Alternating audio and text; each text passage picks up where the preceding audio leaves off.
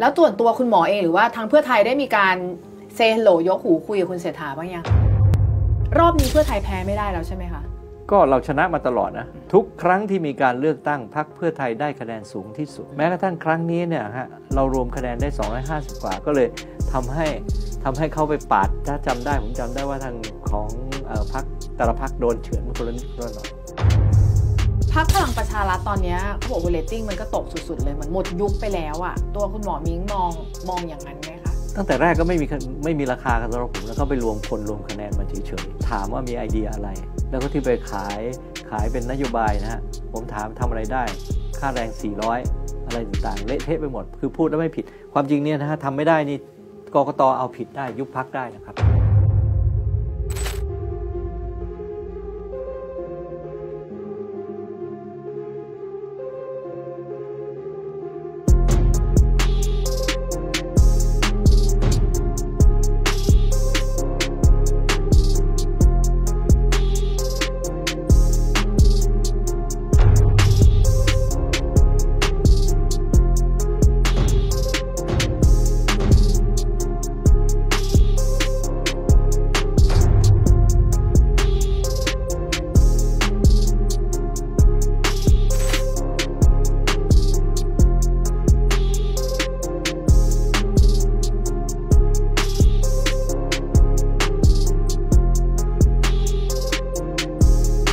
ยยังไม่ได้ทับทามคุณเศรษฐา ยังไม่ได้คุยเรื่องว่าจะมาเป็นแคนดิเดตเลย ผมไม่ทราบ ผมเองไม่ได้มีส่วนเกี่ยวข้องในการที่จะไปนั่งเอาคนนู้นคนนี้มา แล้วก็เรื่องนี้ต้องไปถาม แต่ถ้าถามในใจเราอะก็ในใจดู ในใจ ในใจมันจะมีหลายคนนะครับ เศรษฐาเป็นหนึ่งในนั้น น่าจะเป็นไปได้นะครับน่าจะก็จะมีหลายท่านนะครับผมไม่อยากพูดชื่อนะได้เพราะได้ได้ถามใจผมเนี่ยนะฮะอะค่ะผมก็นั่งดูคนนู้นคนนี้อะไรเนี่ยนะฮะอืมก็เป็นอย่างนั้นแต่ก็ก็ถ้าหากคุณเศรษฐามาก็เป็นคนที่น่าจะมีคุณสมบัติเหมาะสมพอสมควร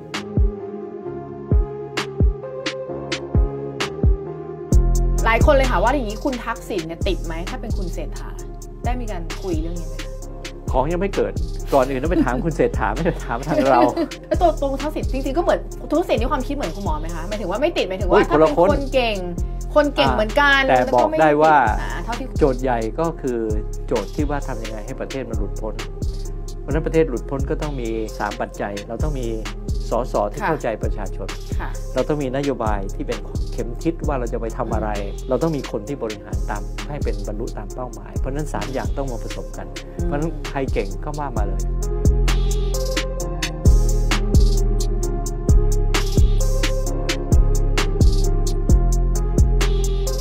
คุณมุ้งอิงนี่ก็เป็นหนึ่งในชื่อที่เป็นแคนดิเดตเจ้าตัวว่ายังไงบ้างคะเท่าที่ คุยคือผมว่าถ้าขณะนี้ก็คนจับตาเยอะนะ มันเป็นความหวังเหมือนกันนะครับเหรอซึ่งก็ต้องต้องขณะนี้ก็เหมือนกับว่าเรามีโอกาสเสนอได้ 3 ท่านใช่ไหมครับ ใช่ค่ะ ผมเชื่อว่าคุณลุงอิงคงจะ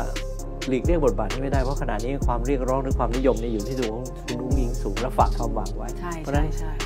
เรามีโอกาสเสนอได้ 3 คนก็น่าจะเป็นไปได้สูงมาก คุณมุ้งอิงกันแน่ๆเรานอนมาแน่ๆอะผู้ภาษาชาวบ้าน อีกสองคนเดี๋ยวค่อยว่าค่อนข้างค่อนข้างมั่นใจได้ มั่นใจได้ เขาต้องเตรียมตัวแล้วนะเพราะถ้าหากคุณอิงเขาออกมาแบบนี้สร้างความนิยมอย่างนี้ความคาดหวังแบบนี้นะครับอืมหลายคนบอกว่ามันเป็นการปูทางไว้ตั้งแต่แรกอยู่แล้วหรือเปล่าสำหรับเรื่องนี้ ปูทางยังไงครับปูทางว่าจะต้องเป็นนายกเอาก็เดี๋ยวว่ากันนะมันก็ต้องพิสูจน์กันเยอะค่ะแต่ขณะนี้เนี่ยถ้ามาร่วมกันขณะนี้มันต้องพักการเมืองคืออะไรที่ผสมกัน ผมก็เป็นส่วนเล็ก ๆ ส่วนหนึ่งใช่ไหมฮะ คุณอิงคณะกรรมการบริหารต้องเยอะแยะ คุณจตุรนต์ท่านเอ่อชัยเกษม ทั้งหมดนี้เราก็ยังทำงานกันอยู่เป็นพักอืมพักหมายถึงคณะบุคคลอืม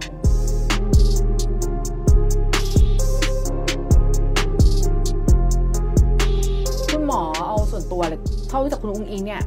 เหมาะกับเป็นนายกหรือยังคะ บางคนบอกว่ายังเด็กเกินไป นายกของนิวซีแลนด์ยังอายุน้อยกว่านี้เลย โอ้จริงเออเอเอออเออใช่ไหมครับ เพราะว่าวันนี้อาจจะต้องการคนที่เข้าอกเข้าใจ อายุก็มีความสำคัญ คืออายุหมายถึงประสบการณ์อืมนะครับ แล้วก็การตัดสินใจ ทีนี้ถ้าหากว่ามันมี คือในสถานการณ์หนึ่งหนึ่งอาจจะมีความเหมาะสมที่สุดอันหนึ่งนะครับ เราก็ต้องว่ากัน ซึ่งอันนี้เราเรายังไม่รู้อนาคต แต่ว่าถ้าเขามีโอกาสเสนอเท่าไหร่แล้วก็ว่าไปตามกติกาอืมเห็นอะไรในตัวคุณอุ้งอิงบ้างคะที่เปลี่ยนแปลงเห็นได้ชัดแล้วว่าเฮ้ยเนี่ยถ้าถ้าจะนั่งนายกนี่คือเหมาะแหละหนึ่งก็คือจิตใจที่อยากจะทำงานให้กับส่วนรวม ความเข้าอกเข้าใจค่ะสองก็คือการเรียนรู้รับรู้ปัญหา แล้วก็การนำเสนอทางออก สิ่งที่เกิดขึ้นก็คืออาจจะต้องมีเรื่องประสบการณ์ในการบริหารประเทศ ซึ่งอันนี้คุณวุ้งอิงยังไม่เคยเลยนะครับใช่ซึ่งอันนี้เนี่ยก็ระหว่างนี้เรียนรู้หรือจะต้องมีถ้าจะต้องเป็นนะครับ ก็ต้องมีที่ปรึกษาที่อยู่ใกล้ ๆ แล้วก็สามารถในการที่จะนำพาเรื่องพวกนี้ได้ ตัดสินใจได้ดีมเชื่อว่าถ้าได้ได้ข้อมูลที่ดีนะครับ หรือว่าใช้เวลาอีกสักพักหนึ่ง นะครับหรือที่จริงก็คือมันเรียนรู้ตลอดทางไม่มีใครเคย นายกยิ่งรักษณ์ก็เหมือนกันก็40กว่าวันก็ใช่ก็สามารถเข้ามาบริหารได้และบริหารได้อย่างสง่าผ่าเผยอืมจนต้องถูกรัฐประหารไงสง่าไปใช่ไหมพี่ก็ฟังในข่าวเขาหลาย ๆ ครั้งเนี่ยท่านก็พูดบอกว่ากลับแน่ไม่ต้องกลัวกลับแน่อะไรอย่างเงี้ยมันมันมันเป็นการปูทางตรงนี้ด้วยไหมใจมุ่งหมายหรือเนี่ยยังไงคือก็อยากกลับทุกเวลานะครับใช่ ไหมถูกไหมคะฮะแต่ว่าในสภาพเงื่อนไขที่เป็นจริงทำอย่างไรหรืออะไรต่างๆ แน่นอนที่สุดบ้านเมืองมีกติกานะครับแล้วมันก็คงต้องเป็นความมุ่งหมายถึงคนอยากให้กลับมาด้วยหรือเปล่าใช่ไหมหมายถึงประชาชนนะครับค่ะการที่เขายอมรับการการที่ประชาชนยอมรับทางด้านนี้นะมันก็ไกลๆอยู่แล้วค่ะต้องไปถามเขาไม่ได้ถามเรา เราก็เป็นอีกพักหนึ่งนะครับค่ะในฐานะที่เป็นพักการเมืองก็มีกฎกติกาของเราค่ะอย่างนี้ นะครับ ส่วนเขาจะจัดการยังไงก็มา เราก็มีฐานะเขาจะมาคือมาเป็นอะไร สมมติว่าเขามาเป็นสสก็ต้องเข้ากระบวนการว่าจะเป็นสสอืมไม่ได้มีทางลัดอะไร ไม่มีทางลัดอืมแต่ว่าได้ได้ได้ได้คุยไหมอะหมายถึงว่าได้มีแมมาคุยไหมผมไม่ได้คุยด้วย แล้วก็ไม่อ่าฮะผมก็ไม่เห็นมีใครคุยนะ ก็อาจจะอยู่ในสสในสภาคนอื่นเขาจะมีโอกาสคุยกันในฐานะที่เป็นสสในสภาด้วยกันก็เป็นอีกเรื่องหนึงข่าวมันหลุดออกมาเนาะเราก็ ไม่รู้ว่ามันมาจากไหนใช่ไหมวันที่ข่าวหลุดเนี่ยนะครับคุณต้องดูว่าใครได้ประโยชน์หรือใครเสียประโยชน์อืมถามว่าพักได้ประโยชน์หรือเปล่าพักเพื่อไทยได้ประโยชน์ไหมอืมวันนี้ใครได้อะอืมก็ต้องรู้ว่าหลุดมาจากไหน ง่ายนิดเดียวฮะผมว่าข่าวหลุดเนี้ให้ไปถามว่าใครได้ประโยชน์แล้วถ้าสมมติร้อยเอกธรรมนัฐมาจริง ๆ อย่างเงี้ยหลายคนก็บอกว่าก็จะมีภาพลักษณ์ที่อาจจะดูไม่ดีเป็นพ่อค้าแป้งบ้างนู่นนี่นั่นถ้ามาจริงทางนี้จะอยากรับไหมคะผมว่าแต่ไม่ด่างเดี๋ยวต้องพร้อยให้ไหมคนที่คนที่ต้องไปดูครับดูกติกาผมไม่ใช่คนที่ไปอยู่ในหน้าที่ตรงนั้น นะครับเราก็ทำอืมเรื่องนโยบายของเราให้ดีอืมนะครับอืมส่วนคนที่จะต้องตัดสินใจก็ต้องไปดูเงื่อนไขตรงนั้นว่าเป็นอย่างไร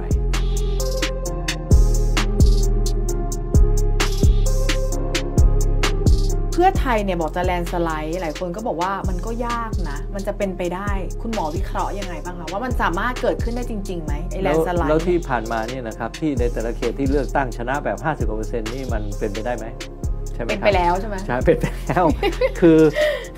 มันอึดอัดแล้วไม่มีทางออกทางออกเดียวคือผ่านการเลือกตั้ง ประชาชนเขาเรียกร้องการเปลี่ยนแปลงผ่านการเลือกตั้งค่ะมันเกิดขึ้นตั้งแต่เลือกตั้งสสที่ลำปางอืมใช่ไหมครับพรใช่รคค่ะของเสรีรวมไทยเขาได้ใช่ค่ะเอ่อเลือกตั้งผู้ว่าของท่านชัดชาติใช่เกิน 50%นะฮะมาถึงมาถึงเลือกตั้งที่กาฬสินธุ์ค่ะนะครับแล้วก็มาถึงร้อยเอ็ดชัดเจนแลนด์สไลด์50กว่าเปอร์เซ็นต์ทั้งสิ้นเพ ราะฉะนั้นที่ผมว่าเนี่ยคือสิ่งเหล่านี้มันเป็นคือทุกวันที่รัฐบาลนี้อยู่ คือทุกวันเขาหาเสียงให้เราโอ้เอาไม่ใช่เหรอคุณมคิดอย่างนั้นเลยเลยใช่ไหมใช่สิก็คือเขาทำให้ประชาชนเนี่ยอยากเปลี่ยนเร็วอ๋อยิ่งเขาอยู่ที่บอก 8 ปีเนี่ยยิ่งเขาอยู่ยิ่งนานๆอะก็ใช่เพื่อดิไทยยิ่งได้เครดิตเขาก็อยากได้เปลี่ยนรตติ้งก็คือหาเสียงให้เราไงคนก็มาค่ะอยากเปลี่ยนสักทีโอ้โหไม่ไม่ไปสักที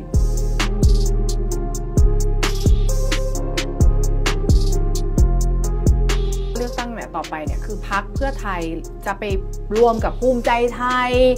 หรืออะไรยังไงบางคนบอกเอ๊ะมันจะรวมกันมันเป็นไปได้ไหมหลักใหญ่ของเราเราต้องการจัดการฝั่งที่ตรงข้ามหรือฝั่งที่ในการพูดง่ายๆ ปล้นอำนาจของประชาธิปไตยจากประชาชน เพราะฉะนั้นใครก็แล้วแต่ที่จะมารวมกันเพื่อเจตนานี้ เราไม่ไม่ดัดหลังนะฮะเราก็คงจะต้องมีโอกาสร่วม ผมไม่รู้ทั่วไปไม่ได้พูดถึงใครอะหลักการเป็นอย่างนั้น